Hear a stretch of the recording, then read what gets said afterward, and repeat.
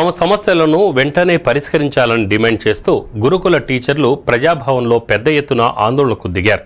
ఈ సందర్భంగా పలువురు టీచర్లు మాట్లాడుతూ తమకు ప్రమోషన్లు ఇవ్వాలని బదిలీలు చేయాలని డిమాండ్ చేశారు. తమ సమస్యలను పరిష్కరించేదాకా ఇక్కడి నుండి వెళ్ళేది లేదని బైఠాయించారు. ఆందోళన చేస్తున్న టీచర్లు సీఎం రేవంత్ రెడ్డిని స్పందించాలని కోరారు.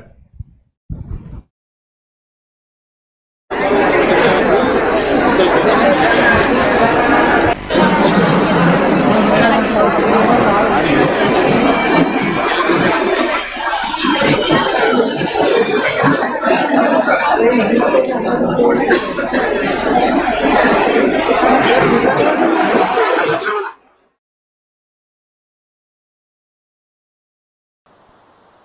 నాంపల్లి ఎగ్జిబిషన్ గ్రౌండ్స్లో జరుగుతున్న నుమాయిష్ ప్రదర్శనను మరో మూడు రోజులు కొనసాగించనున్నారు. సందర్శకుల డిమాండ్ ట్రేడర్ల విజ్ఞప్తితో ఈ నిర్ణయం తీసుకున్నట్లు all India industrial exhibition society ప్రకటించింది.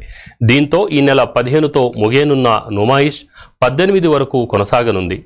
ఏఐఐఈఎస్ నిర్ణయంపై నుమాయిష్ సందర్శకులు ట్రేడర్లు సంతోషం వ్యక్తం చేస్తున్నారు.